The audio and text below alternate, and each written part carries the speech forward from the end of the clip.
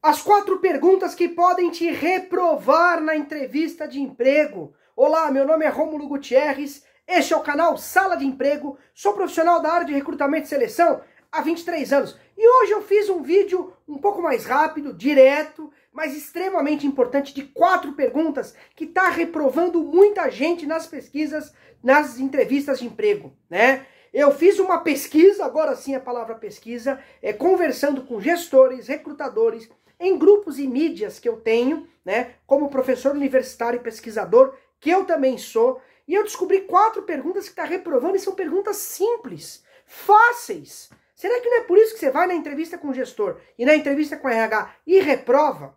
Eu coloquei a quarta, a terceira, a segunda, a primeira. A quarta está reprovando 31% dos candidatos hoje no Brasil. A terceira está reprovando 45%. A segunda está reprovando 56%. E a primeira está reprovando 65% dos candidatos. Então, fica até o final do vídeo, compreenda essas perguntas, porque eu vou dar dicas de respostas. Pergunta 4, que reprova 31% dos candidatos. É quando o recrutador ou o gestor pergunta: o que, que eu posso escrever aqui neste laudo sobre você e que realça a sua contratação? Ou seja, mais ou menos assim, por que, que eu deveria contratar você e não outro candidato? A pergunta é a mesma, análoga. O que, que a pessoa erra? A pessoa começa a citar qualidades, citar feitos profissionais que não tem muita relação com a vaga em si. Vou dar um exemplo, tá? Eu sou uma pessoa, exemplo, um profissional que tem uma boa oratória, por exemplo, que tem uma boa capacidade de argumento e de convencimento. Só que a vaga é para trabalhar com recrutamento. Pessoa que vai analisar currículo, verificar currículo em relação à vaga e mandar para o entrevistador. Aí eu, ele pergunta para mim, Rômulo, me diga algo que diferencia você dos outros candidatos. Ou fale algo que eu escreva aqui que realça a sua condição. Eu digo, então, eu sou muito persuasivo, me expresso muito bem, falo muito bem, mas é uma vaga que eu estou concorrendo que eu não tenho que falar. Eu vou ter que fazer análise. Aí eu acabo vendendo um diferencial que não tem nada a ver com a vaga. O recrutador ou gestor até acha legal, mas fala, ah tá, mas não é isso que a gente está procurando. A minha resposta deveria ser, eu sou uma pessoa muito atenta, muito analítica, eu domino muito bem as ferramentas do LinkedIn Recruiter, do Indeed, para conseguir parear os melhores currículos para as vagas. E é por isso, isso você pode escrever aí, que realça a minha contratação. Eu junto o arroz e o feijão. Aí a coisa funciona, entende? Então 31% dos candidatos têm tergiversado nessa resposta, ou seja, começa a andar em círculo e pimba, reprova. Será que é isso? Rômulo, eu acho que é. Então, na hora de você responder, não só esta pergunta, com 3 minutos e 7, tô dando uma dica muito boa já, hein? Não só essa pergunta, mas outras perguntas, relacione o seu melhor àquilo que a vaga pede. Por isso tem que conhecer a vaga. A pergunta que reprova 45%, são só quatro, hein? 45% dos candidatos. Essa aqui é, ela é bem situacional, né? O RH pergunta, ou o gestor pergunta: se você visse um colega seu infringindo alguma de nossas regras e políticas, o que, que você faria? Outro dia no processo da Fly Emirates, né? Eu treinei a Nayara, né? Nayara, tudo bem? Ó, um beijo para você aí. Nayara é uma querida, é comissária, participou do processo lá para Fly Emirates e caiu esse case aqui, né? Se você visse um comissário roubando comida do avião, o que você faria? Então eles colocam você dentro de uma situação complexa. Tá caindo de monte na entrevista. Rômulo, o que eu faria? Dica. Você responde em duas fases. Um, apaziga o conflito. E dois, deixe claro que as normas não podem ser infringidas. Vou dar um exemplo lá da, da comissária do avião. Olha, eu chegaria para o colega e falaria, olha, você está infringindo uma regra importante, você sabe que não pode é, comer a comida, parece eu que sou gordo, quero comer toda hora, não pode comer a comida é, dos passageiros, e isso é uma infração grave. Por que, que você está fazendo isso? Então eu perguntaria para ele o motivo, tentaria entendê-lo. Depois que conversasse com ele, eu diria a ele: olha, eu entendi o seu argumento, mas eu vou passar isso à frente, vou passar para o comandante para a gente conversar juntos, tá? Até porque eu não quero te prejudicar, mas eu não posso permitir que uma regra seja inserida. Fala, é, Romulo, isso aí é caguetagem. Então, se você responder diferente disso, você reprova. Ah, eu falaria com um colega e deixaria para lá. Vai reprovar. Ah, eu não falaria nada, eu fingiria que eu sou suco, cego, cego, mudo e surdo. Reprovaria também. Ah, eu ia entregar ele na hora sem falar com ele. Deslealdade, reprova também. Tem que falar com ele e com a empresa. 45% das pessoas têm reprovado e eu já tô te ensinando para você passar, hein?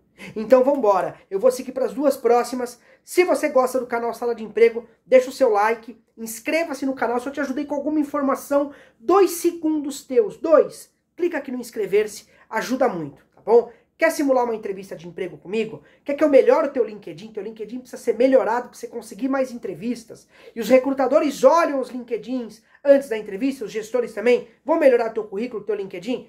Primeiro link da descrição, meu WhatsApp, tá bom? Você me chama direto. Preços pequenos para os inscritos no canal Sala de Emprego.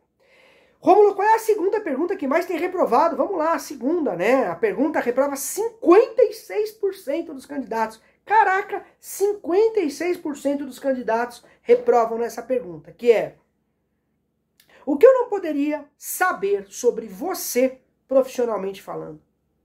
O que eu não posso saber sobre você? Falar, a minha vida é um livro aberto.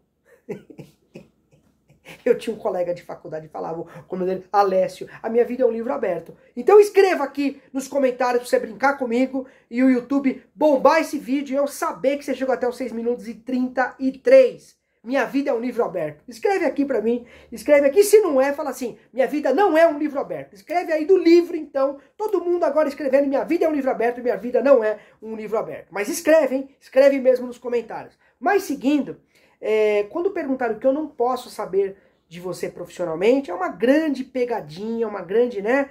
Um, uma grande armadilha. E na entrevista de emprego, às vezes, infelizmente, tem algumas armadilhas. Caso pergunte, por que, que eu não devo te contratar? Ah, me diga alguma coisa que atrapalharia você nesta vaga. Ou o que, que eu não poderia saber de você profissionalmente? Você vai dizer, olha, é, profissionalmente falando, eu observei que eu tenho bastante relação com a vaga, que eu tenho um pouco de dificuldade. Exemplo, vai é no Excel, que eu vi que vocês pedem o avançado, eu tenho intermediário. No mais, eu não tenho nada a esconder, tudo está explicitamente no meu currículo. E se você quiser perguntar, fique à vontade que eu posso esclarecer. Então, mostre segurança, mostre segurança, tá? Tente encontrar algum gap pequeno em relação em você e a vaga, você não pode se mostrar o perfeitão, a perfeitona, tá? Mas é, não caia na armadilha de falar, então, é, na verdade, o que você não pode saber é que a última empresa que eu trabalhei, eu coloquei ela no pau, né? E aí, não, não fale isso porque você reprova. Inclusive tem vídeo aqui falando sobre isso. Não tô falando que colocar a empresa no pau não pode, mas quando o recrutador sabe, é complicado e depois no vídeo lá eu explico. Tem um vídeo aqui que fala sobre isso. Mas de repente, meu, teu gap é Excel, não pode. Power BI que as empresas estão pedindo muito. Aqui na descrição deixei links dos cursos de Power BI Excel. E para você fazer uma boa entrevista em inglês, eu deixei um curso legal também, um curso da hora, um curso bom, tá bom? Você pode clicar e fazer esses cursos que vai ajudar muito o teu currículo. E a primeira pergunta que reprova pra caramba, que reprova muito, muito mesmo, muito, muito, mas muito. Quanto, Rômulo? 65% dos candidatos estão sendo reprovados nessa pergunta. Que é a pergunta? Me fale de resultados importantes que você entregou nos últimos dois anos. Me fale os seus resultados nos últimos dois anos. Eu vou explicar a resposta. Antes de explicar, é que eu comi bolacha hum, e tá aqui no, no, lábio. É ruim, né? É ruim, tá no lábio. Aí, Romulo, que nojento, mas é verdade. Eu comi antes. Bolachinha com café. Mas vamos lá. Agora saiu. Me fale dos resultados importantes que você entregou nos últimos dois anos. Eu deixei um vídeo legal também na descrição, que é Me fale dos seus resultados. É um vídeo top. Pergunta que tá caindo bastante. Quando eu terminar aqui, você já parte para esse outro vídeo, tá? Eu vou falar do modelo de resposta agora, 65% de reprovação, beleza?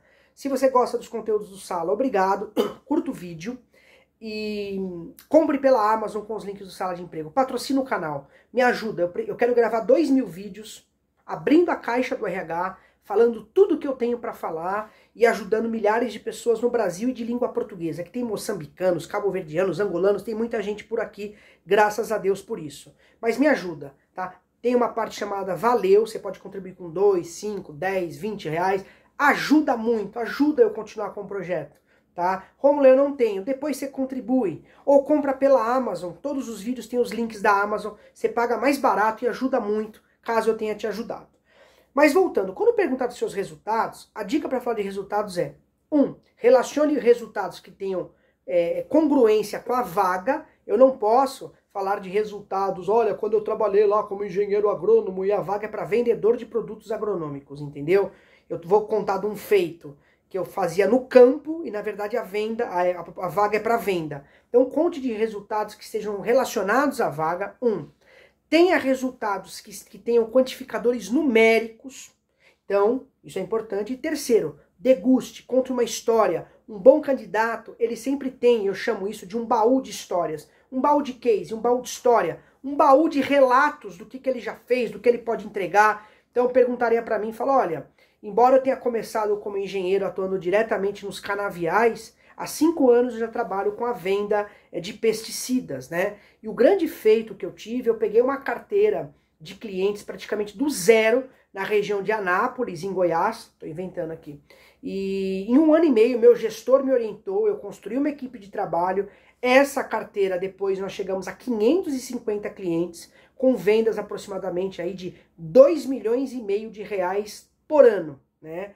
Eu acho que esse é um feito assim que eu não construí sozinho, divido o mérito com as pessoas. E é algo muito relevante para essa área que eu estou falando. Viram só? Aí eu conto um feito com dado, com número, uma boa história relacionado à vaga e ele vai realmente identificar que os resultados que eu sou capaz de entregar fazem diferença, são importantes. Então, fica super atento, eu tô terminando o vídeo, você tá até os 11h57, a maioria das pessoas já foram, mas você tá aqui comigo, viu até eu hum, hum, hum, tirar a bolacha do dente. Escreve aqui nos comentários, bolacha do dente, para eu saber que você viu eu fazendo isso. Para eu saber quem foi, bolacha do dente. Escreve aí, mas você aprendeu é, quando responder, né, alguma coisa que quando ele pergunta o que eu posso escrever nesse laudo que realça sua contratação, se você visse um colega infringindo, o que, que você faria, é, o que eu não poderia saber sobre, sobre você profissionalmente, como é que você dribla essa pergunta tão chatinha e você aprendeu a falar de resultados, não vai reprovar mais por isso e vai fazer uma simulação de entrevista comigo, me chama aqui na descrição, preços pequenos para os inscritos no canal Sala de Emprego. Um abraço, excelente entrevista de emprego e bora ser aprovado. Um abraço e até mais. Tchau, tchau.